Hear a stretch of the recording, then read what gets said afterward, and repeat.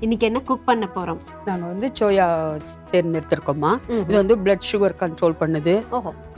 ஹார்ட்டுக்கு ரொம்ப நல்லது. ஓஹோ. அதனால் இதை சூஸ் பண்ணியிருக்கோம். எங்கள் வீட்டில் கொஞ்சம் பிளட் சுகர் இருக்கு எனக்கு. அதனால இதை தேர்ந்தெடுத்திருக்கோம். ஓகே. இன்னைக்கு பண்ண போற ரெசிபியோட பேர் என்னமா சோயா சைவ புட்டு. ஓகே.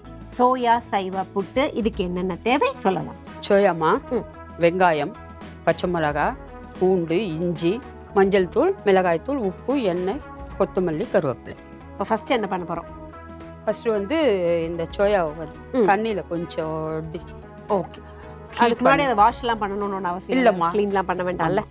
அப்ப நம்ம நேரா தண்ணி வச்சிடலாமா? தண்ணி வச்சிருக்கேன் நான் இங்க வந்து ஆன் பண்ணிடுறேன். இங்க. வெசில் இருக்கு. சரிம்மா. உங்களுக்கு பேக் சைடுல வந்து அந்த ஜார்ல தண்ணி இருக்கு. எவ்வளவு தேவையோ அவ்வளோ ஆட் பண்ணிக்கலாம்.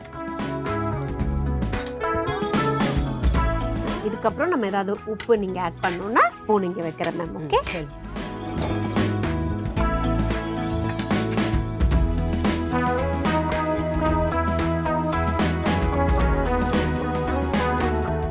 கொஞ்சம் ஹீட் கொதிக்க. ஓரளவுக்கு. ரொம்ப கொதிக்க வேண்டாம். கொதிச்சா பிசு ஒரு பிசு பிசுப்பு தன்மை வந்து அதனால கொஞ்சம் ஓரளவுக்கு டிப் பண்ணி நம்ம எடுத்துக்கிட்டு. அது நல்லா பிழிஞ்சிட்டு இதை ச- நல்லா கையிலேயே மேஷ் பண்ணிடலாம். ஓ. மேஷ் பண்ணி நல்லா வச்சுக்கணும். வச்சுக்கிட்டு இதெல்லாம் வதக்கிடணும். எல்லாத்தையும் வதக்கிட்டு இது கூட வந்து மஞ்சள் தூள் கொஞ்சம் மிளகாய் தூள் போட்டு வச்சிடணும். வச்சுட்டு. மேக்னேட் பண்ணி வச்சுக்கிட்டு இது வதங்கின உடனே இதை தூக்கி அதில் போட்டு நல்லா இது பண்ணி எடுத்துட்டு Fine. சூப்பரா அஹ், கொஞ்சம் சூடாகணும் அப்படின்னீங்க. கொஞ்சம் ஆயிருக்கு. போதுமா இல்ல இன்னும் கொஞ்சம்? கொஞ்சம் ஆகட்டும். ஓகே. இதுல தான் உப்பு நம்ம ஆட் பண்ண போறோமா? இப்போ வேண்டாம். கொஞ்சம் சும்மா போட்டா போடலாம். இது இதுல கொஞ்சம் பிடிக்கல உப்பு பிடிக்கணும் இல்லையா. அதுக்காக போட்டா போடலாம். ஸோ ஹைல தான் வச்சிருக்கோம். ம். நமக்கு ஹை ஆட்டும் அதை நம்ம போட்டுடலாம் அதுக்குள்ள இதெல்லாம் இது பண்ணி வச்சுக்கலாமா? அப்படி பண்ணிடலாமா. அதையும் பண்ணலாமா? அப்போ ஒன்று பண்ணலாம். இந்த பக்கம் நான் அதை மாத்திடுறேன். ம், ம், மாத்தணும். ஸோ மாத்திட்டு ம். நம்ம வந்து அங்க கடாய் வச்சிடுவோம் ம். ஓகே ம்.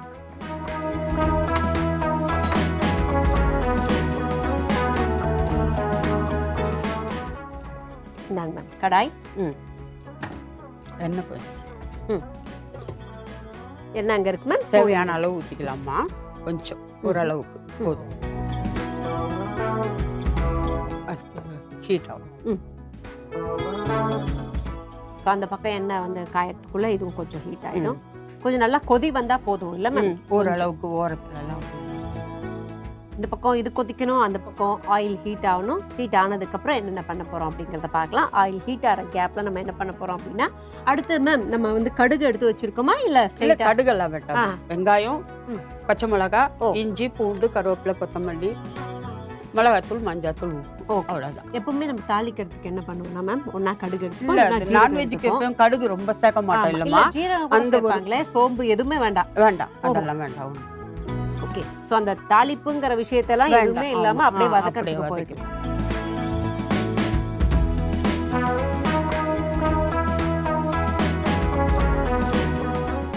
வெங்காயம் நல்லா வந்து வதங்கின வதங்குற அளவுக்கு அதை ஃபைனா சாப் பண்ணி வச்சிருக்கோம். அதுக்கப்புறம் பச்சை மிளகாய் பச்சை மிளகாவையும் நல்லா ஃபைனா ஆமா. சாப் பண்ணிடுவோம். இஞ்சி பூண்டு. எல்லாம் சாப் பண்ணதுதாம்மா. எதுவும் அரவை எல்லாம் கிடையாது. ஓகே சாப் பண்ணி வச்சு இஞ்சி நல்லா சாப் பண்ணிருக்கோம் போடும் மேம். இதெல்லாம் அரைக்க போறோமா? இல்ல. என்னம்மா? அரைக்க போறோமா? இல்ல அரைக்கிறதெல்லாம் ஒண்ணும் கிடையாது. அப்படியே இப்ப இது பண்ணு கருவேப்பிலை போட்டிருக்கோம்.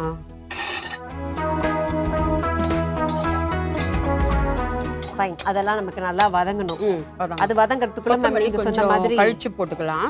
அப்போ அந்த வாசனை கொஞ்சம் இருக்கணும் இல்லையா நம்மளுக்கு? ஸோ இதுவும் பாத்தீங்கன்னா கொஞ்சம் சூடாக ஆரம்பிச்சிருச்சு மேம். இதுல நம்ம போட்டுடலாமா? மீல் மேக்கர் போட்டுடலாம்? போட்டுடலாம்.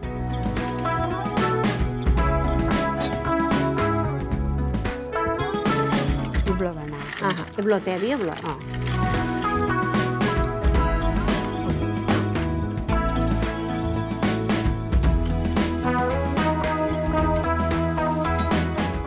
சோயா பொறுத்த வரைக்கும் நமக்கு அந்த ஸ்டிக்கியா ஆகாது. இப்ப பாஸ்தாலாம் கொஞ்சம் ஸ்டிக்கி ஆயிடும். ம், noodles ஆமா. எல்லாம் ரொம்ப இது.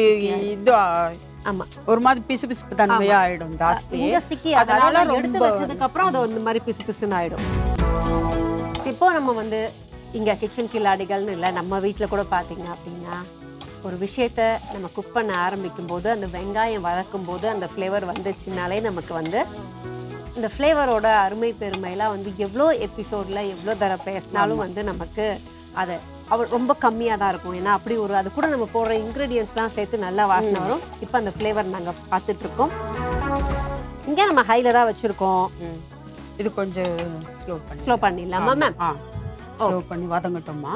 அது ரெடி பண்ணிக்கலாம் அதுக்கு. ஓகே சோயாவை நம்ம ஃபஸ்ட்டு கொஞ்சம் லைட்டாக வந்து பாயில் பண்ணா அப்படின்னு நினச்சோம். ஸோ அதை நம்ம பண்ணி வச்சு ஆஃப் பண்ணி வச்சுருக்கோம். ஸோ இப்போ அடுத்து சோயால தான் நம்ம வந்து கண்டினியூ பண்ண போகிறோம் ஏன்னா இதை சிம் பண்ணி வச்சுருக்கோம். அது கொஞ்சம் வதங்கணும் இல்லையா மேம் இங்கே வச்சுட்டுமா? ம் வச்சிரு ஓகே ஸோ இதில் என்ன பண்ண போகிறோம் மேம் இப்போ இதை எடுத்து ம். நல்லா தண்ணி வடிகட்டும் ஓஹோ.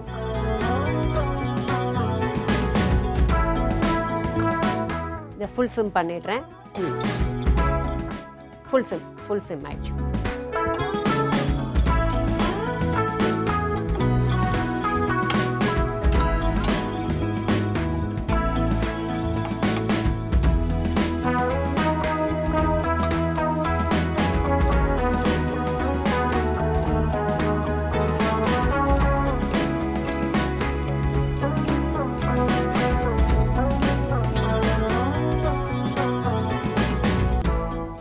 வாஷ் பண்ணிடலாமா இப்போ?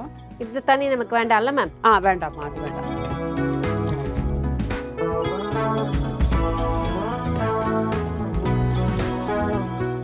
அது பாத்திரம் கொடு. பாத்திரம் வேணுமா? எக்ஸஸ் வாட்டர் எல்லாத்தையும் நமக்கு ம், ஆமா. பிழிஞ்சிட்டு சோயாவை மட்டும் பிழிஞ்சிட்டோன்னா தான்? உங்களுக்கு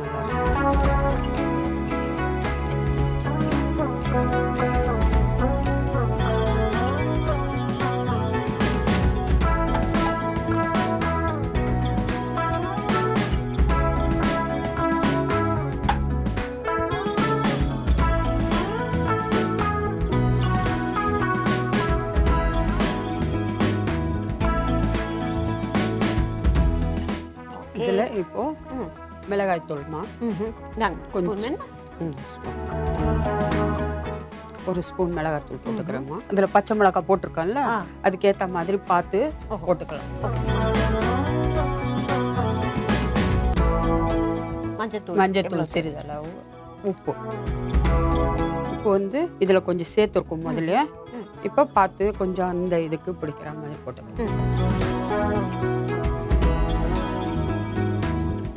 இதெல்லாம் நல்லா மிக்ஸ் பண்ணி நம்ம அதை அப்படியே கையால நம்ம கொஞ்சம் பிரிச்சு பிரிச்சு விடலாம் ஆமா, இல்லைங்களா? அதே. பண்ண போறோமா? ஆமா. இந்த இப்படி இப்போ இது பண்ணிட்டா வருது இல்ல? ஆ. முட்டை பொடி மாஸ் ஆமா ஆமா.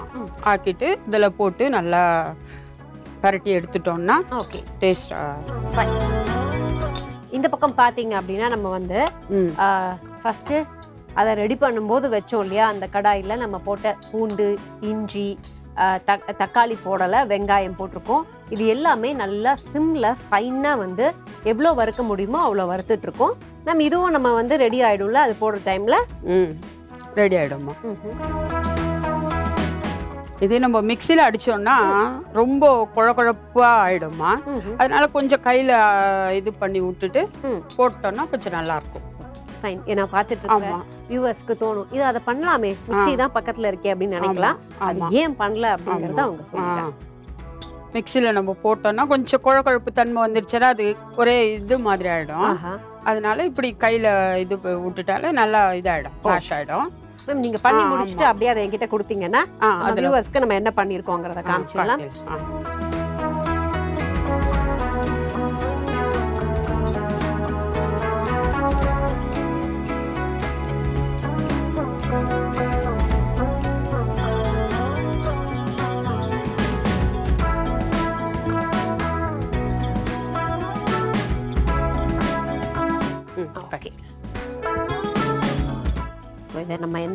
பண்ணியிருக்கோம் மேம் இத்தனை நேரம் அப்படின்னா ஒரு ஒரு- பீஸை வந்து ஒரு நாளா ஆ, அப்படி. மாத்திருக்கோம் இல்ல மேம் முழுசு முழுசா இருக்கிறத விட இந்த மாதிரி பண்ணும்போது என்ன ஆகும்னா அந்த உப்பு புளி காரம் மற்றதெல்லாம் அதுல இறங்கி.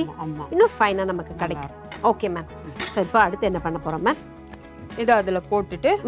நல்லா கொஞ்ச நேரம் வறுக்கணுமா? ஓகே ஒரு இந்த தண்ணி இருக்கு இல்லையா கொஞ்சம். அதெல்லாம் கொஞ்சம் சுண்டுற வரலாம் நல்லா வதக்கிட்டு. அப்புறம் கொத்தமல்லி நல்லா கொஞ்சம் போட்டு. இறக்கி விட்டலாம் ஓகே ஸோ இப்போ நம்ம என்ன பண்ணி வச்சிருந்தோங்கிறத பார்த்தீங்க இல்லையா? அதை நம்ம அப்படியே வந்து கடாயில் போட்டாச்சு. ஸோ இதை தான் நம்ம பண்ணியிருந்தோம். அதை நான் உங்களுக்கு காமிச்சேன். இப்போ அதை வந்து அப்படியே கடாயில் போட்டு லைட்டாக மேம் வர்ற கேப்பில் நம்ம இதை மிக்ஸ் பண்ணிடலாம். ஸோ தட் இது நல்லா குக் ஆகணும்னு சொல்லியிருக்காங்க. இப்போ வரைக்கும் பார்க்குறதுக்கு எப்பவும் நம்ம சொல்கிற மாதிரி சிக்கனா இல்லை மீல் மேக்கரா அப்படின்னு நமக்கு எப்பவுமே சந்தேகம் வரும். குக் பண்ணும்போது. ஹை பண்ணிடலாமா? ஆய் பண்ணிடலாம். ஓகே மேம் ஹை பண்ணியாச்சு. இதுக்கப்புறம் இதில் வந்து நமக்கு ஆட் பண்ண வேண்டிய ஒரே விஷயம் என்னன்னு பார்த்தீங்கன்னா கொத்தமல்லி மட்டும்தான். அதை நம்ம கார்னிஷ்க்கு ஆட் பண்ணுவோம். நல்லா குக் ஆகணும்னு சொல்லி நம்ம ஒரு பிரேக் விட்டுருந்தோம். ஸோ அந்த நல்லா குக் ஆகிற டைமிங் என்ன அப்படின்னு பார்த்தீங்கன்னா சுமார் ஃபைவ் டு சிக்ஸ் மினிட்ஸ் சொல்லலாம். ஏன்னா நம்ம எப்படி போட்டோம்? கொஞ்சமாக அந்த வந்து அந்த வாட்டராக இருந்தது. அதுக்கப்புறம் ட்ரை ஆகிறது மட்டும் இல்லை நீங்கள் ஃப்ளேவர்லையும் கண்டுபிடிக்கலாம். நல்லா அது குக் ஆகிற ஃப்ளேவர் நமக்கு வந்தாச்சு. இல்லைம்மா. ஓகே ஸோ இப்போ அடுத்து நம்ம என்ன பண்ண போகிறோம் கொத்தமல்லி லாஸ்ட்ல போட்டு இறக்கிடலாம். ஓகே